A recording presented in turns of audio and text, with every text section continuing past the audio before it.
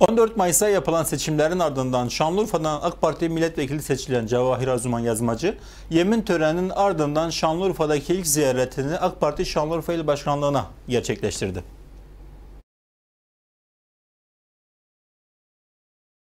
...14 Mayıs 2023 seçimlerinde Şanlıurfa'dan 5. sıra Şanlıurfa Milletvekili olarak seçilen yazmacı, geçtiğimiz günlerde Türkiye Büyük Millet Meclisi'nde yaptığı yemin töreninin ardından memleketi Şanlıurfa'ya dönerek AK Parti Şanlıurfa İl Başkanlığı'nı ziyaret etti.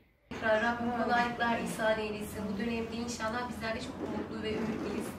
Ee, farklı bir e, havanın yakalanacağını ve e, daha güzel işlerin birlikte yapılacağını ümit ediyoruz.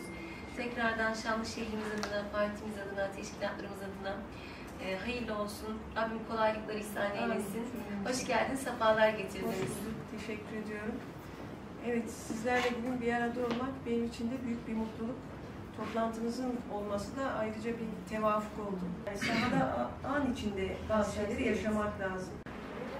gelmez böyle ile gel. İlk ziyaretini AK Parti Şanlıurfa İl Başkanlığı'na yapan 28. dönem Şanlıurfa Milletvekili Cevahir Osman Yazmacı, burada ana kademe, gençlik kolları ve kadın kolları teşkilat üyeleriyle bir araya geldi. Ee, inşallah memleket için çok güzel işler yapabildiğinizde da.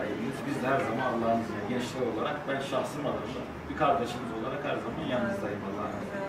Bir de gençlik kollarının da bu süreçte e, büyük emekleri oldu. Ve zaman mefhumu olmadan çalıştınız, gönlünüzle çalıştınız. Allah hepinizden razı olsun. Ben de e, belki makam olarak Şanlıurfa milletvekiliyim ama bir vekiliniz olarak değil, daha çok bir ablanız olarak e, gönüllerinizde kalmak isterim. E, elimden ne gelirse hem Urfa'nın gençliği için hem teşkilat için neler yapabilirsem birlikte bu şehirde, bu şehri hak ettiği noktaya taşımak adına